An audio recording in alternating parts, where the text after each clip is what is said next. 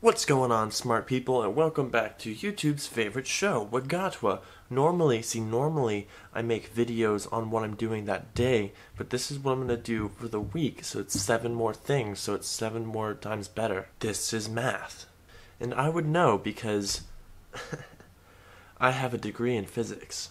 Taken out of context, that would sound really weird. I graduated yesterday, and that's why I made that joke. Wagatwa!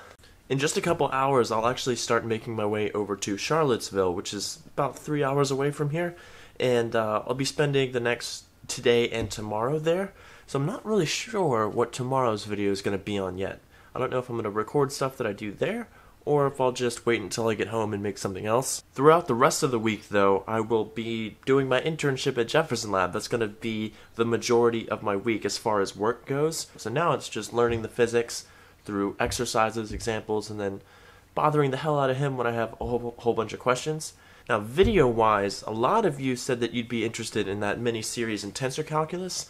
So I might put out a video sometime this week just with a little a little test video to see how it works where I'll start at the very very beginning and see how that does. And in order to balance out the math videos that I'll be putting out this week, I'd like to make a more light comedic video. I haven't made one of those in a while. I just haven't made one of those videos recently because, well, it's hard to be funny consistently for an entire video when in the background of your mind you're thinking about the finals that you have to take and graduation and all that good stuff. But now that all that's over, I can go back to trying to make you laugh and make you pee.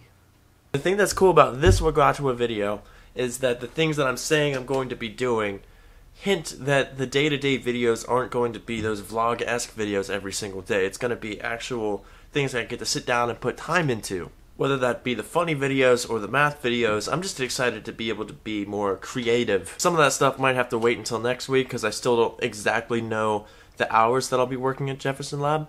So, I mean, once that's well and established, it'll be easier to work with that schedule and uh, and really plan out the videos that I'll be making. But that's gonna do it for this Wagatwa video. Wagatwa is not meant to be a long video. It's supposed to be short, sweet, to the point, the best thing you've ever seen, and nothing more. Let me know in the comments section, are you excited to see more of the funny videos or the math videos? I'll see you guys there.